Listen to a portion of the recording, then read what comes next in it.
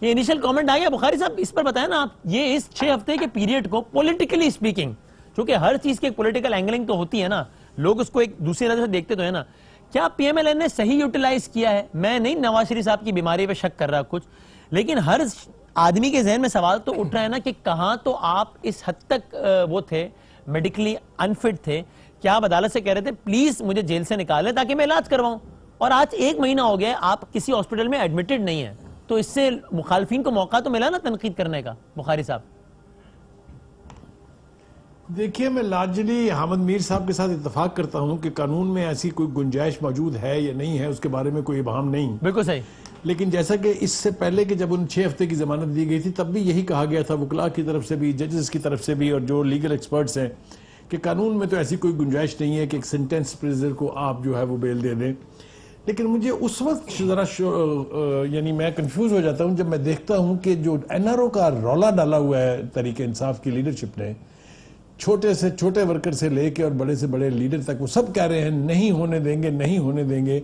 تو مجھے یہ احتمال ہوتا ہے کہ شاید کہیں کچھ نہ کچھ ہو رہا ہے ضرور۔ پچھلے پورے دور میں یا خاص طور سے جو زوال کا دور ہے پی ایم ایل این کا، وہاں آپ یہ دیکھیے کہ دو ادارے جو ہیں، ان کی بہت قربت رہی ہے، وہ ہے فوج اور جوڈیشری اور اگر یہ کمبینیشن اسی طرح سے چل رہا ہے ابھی تک بھی جس کے بارے میں بہت سارے سوالات اٹھ رہے ہیں تو ممکن ہے کوئی نہ کوئی گنجائش نکال لی جائے اس کی۔ این آر او نہ دینے کی بات جو ہے نا وہ طریقے انصاف کے بس کی نہیں ہے۔ نہ انہوں نے دینا ہے نہ یہ ان کے بس میں ہے جنہوں نے دینا ہے اسے آپ بھی جانتے ہیں یاد صاحب بھی جانتے ہیں میر صاحب بھی جانتے ہیں جنہوں نے دینا ہے۔ اور جب وہ دینے پر آ جاتے ہیں این آر او تو ایسے ایسے راستے نکلتے ہیں کہ لوگ جو ہے اسپتال جاتے جاتے جو ہے اگر کوئی بھی نواز شریف صاحب کو این آر او دینا چاہتا ہے کیوں چاہے گا؟ یا تو یہ نا کہ نواز شریف صاحب کی پوزیشن اس وقت اتنی تگڑی ہو اس وقت تو ظاہر الیکشن وہ ہار چکے ہیں دو تین ایموشنلی وہ ٹوٹ چکے ہیں کلسوم صاحبہ کے بعد تو کسی کو کیا پڑی نواز شریف صاحب او دینے کی؟ یہ آپ بالکل ٹھیک۔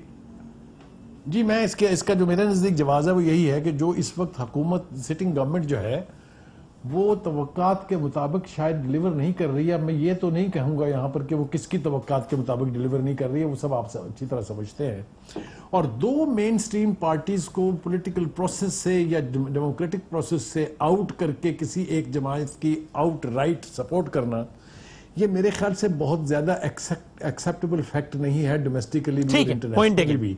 تو جیسا کہ ہم سمجھتے ہیں کہ جو اسٹیبلشمنٹ ہوتی ہے وہ ہمیشہ دو دو گھوڑوں کے اوپر کھیلتی ہے۔